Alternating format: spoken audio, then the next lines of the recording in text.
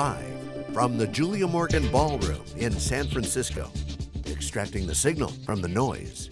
It's the theCUBE, covering Structure 2015.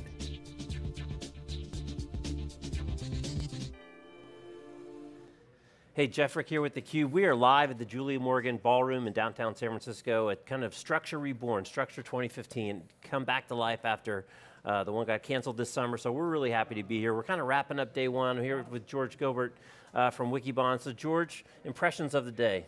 You know, um, I'm reminded of that scene in the original Indiana Jones movie where they're um, digging, you know, from the surface of the desert all the way down you know, into this hole. And they're passing all these levels of strata. And I know strata is a dirty word because it comes from the competition. But basically, we're seeing many layers of technology that we saw, that we've talked to uh, vendors representing those layers.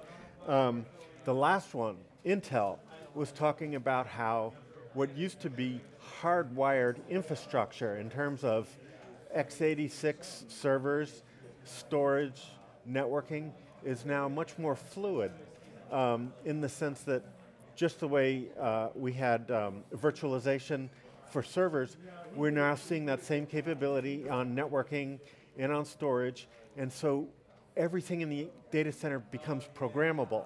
That's the lowest la layer of, of the strata. Um, we talked really at, at the highest layer with um, Joseph Sirosh um, of Microsoft where you know, you don't even know where his stuff is running. It's out in the cloud somewhere, but he's got this really deeply integrated data lake that doesn't bear any real resemblance other than the programming interface to this Hadoop data lake that we all hear about. This one is industrial strength, it runs as a service, you know, you don't need 47 different administrators taking care of 17 different corners of it. And then they've got a whole lot of analytics that layers on top of it seamlessly. So top to bottom, we saw a lot. So one of the core themes is always best of breed versus an integrated solution. And for best of breed, you might get better capabilities on a particular um, silo of functionality, but now you've got an additional layer of overhead and a right. additional layer of management go with an integrated stack, in theory everything works really well, so maybe you don't have the best, the best of breed on a particular thing. How's that really changing now in the cloud world? Because we have kind of two things going on. Cloud's all about elasticity and being able to, to expand and contract, but you can't do that at scale without a tremendous amount of automation. And the other piece we talked to um, about APIs, and now all this stuff is interconnected. It's not just a single app and you control. So how are those trends being utilized, how are we using more horsepower to enable elasticity, more best of breed, API integration, as well as, as automating so much of the, of, the, of the configuration and the expansion. Okay, so maybe an analogy works here. Picture uh, the cockpit of an airplane. You've got 47,000 knobs you can turn. That's sort of how big data is dealt with today. Um, whether on-premise or, or even in the cloud, you've got to know, you've got, you've got to have, you know, storage guys, you've, you've got to have zookeeper guides, and I don't mean, you know, the ones, you know, keeping animals.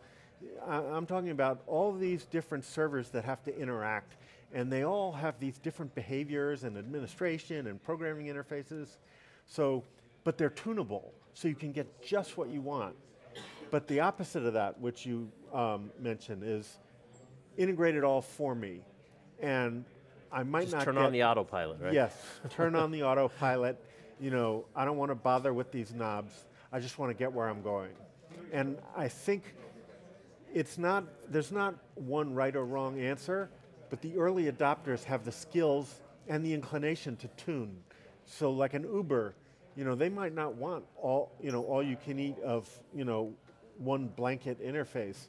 But when you get to you know, a mid-sized enterprise, they don't have 67 administrators to handle a Hadoop cluster. Yeah, and, and it was interesting, um, Jonathan talked about, because there are no single vendor customers, right? It, right? it, doesn't exist.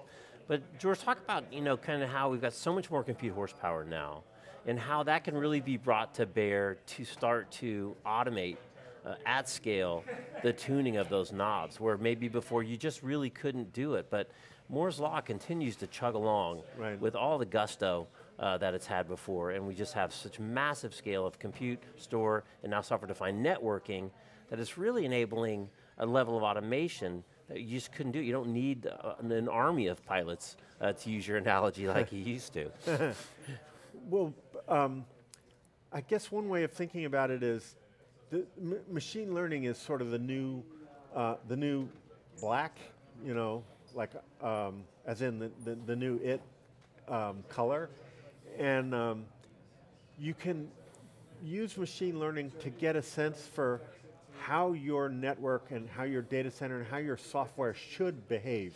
This is still a bit of a science project, but um, rather than having people track down, you know, uh, a, like um, in a hospital, you know, the, the, the monitors that go, that go off when, you know, someone's heart stops, you know, you got to go figure out what happened.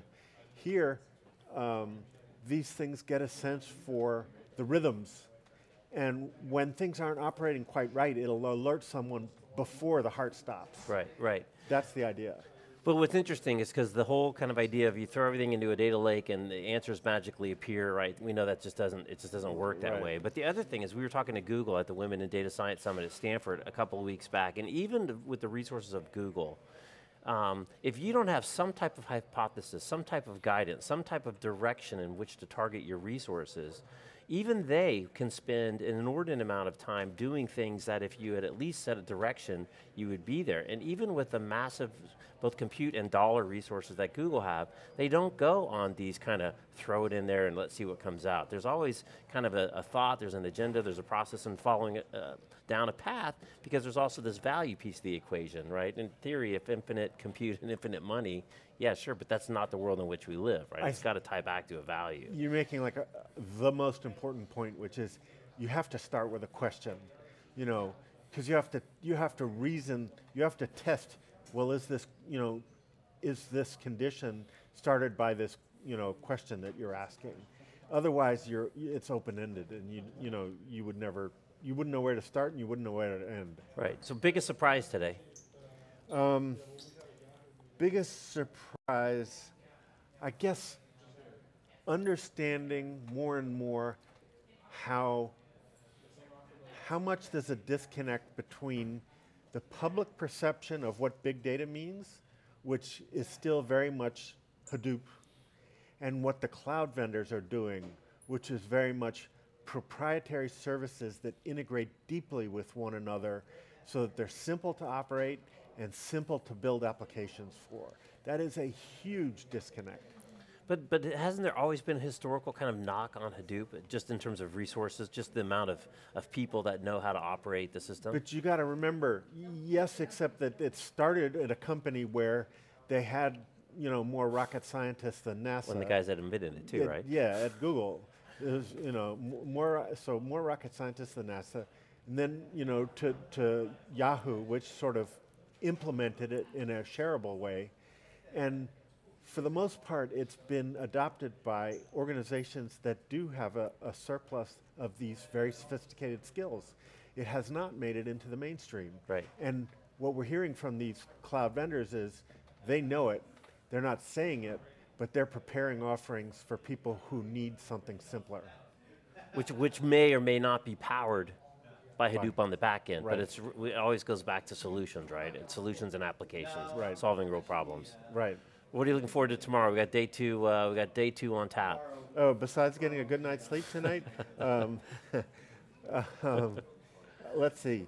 Uh, I'm looking forward to more application stories. Um, like now that we have so much more data, so how do you think re, how do you rethink applications, you know, in a world of, of huge amount of data, and and also when the data is coming from sort of the edge of the network, and you're capturing it and analyzing it closer to the edge of the network. You know, that would be that would be a, a, a sort of another big thing to think about. The Intel, the Intel sort of the last interview we did with Intel about sort of programmable infrastructure. I don't think we're going to hear anyone better or, are, uh, you know, who can articulate better, you know, what's going on in the data center um, than them. So I think that sort of the next layers up will be where we, we get some more insight. X86, the gift that keeps on giving, right? Yes. All right. Well, George Gilbert from Wikibon, I'm Jeff Frick. You're watching theCUBE. We are live at the Julie Morgan Ballroom, day one of Structure. We'll be back next day, all day, wall to wall, so tune in, uh, catch all the interviews, and uh, this is Jeff Frick signing off from the Julie Morgan Ballroom. Thanks for watching.